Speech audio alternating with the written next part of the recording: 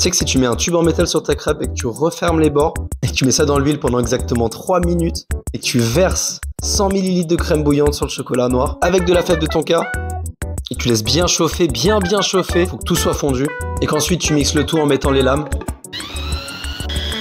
Et alors hyper important, tu laisses bien refroidir tout ça au moins de 3 heures au frigo et tu badigeonnes ta crêpe avec du beurre fondu directement dans des brisures de noisettes, bien partout et qu'ensuite écoute bien, tu rajoutes ta ganache au chocolat au milieu de la crêpe, sans oublier du croquant avec des noisettes torréfiées et un peu de poudre de noisettes, de la confiture de lait. Et ce que tu obtiens, c'est une recette de crêpes parfaite pour la chandeleur?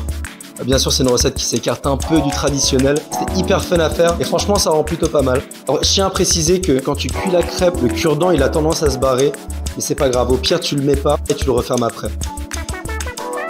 Donc, si t'as aimé l'astuce d'aujourd'hui, t'es pas prête pour celle de demain. Abonne-toi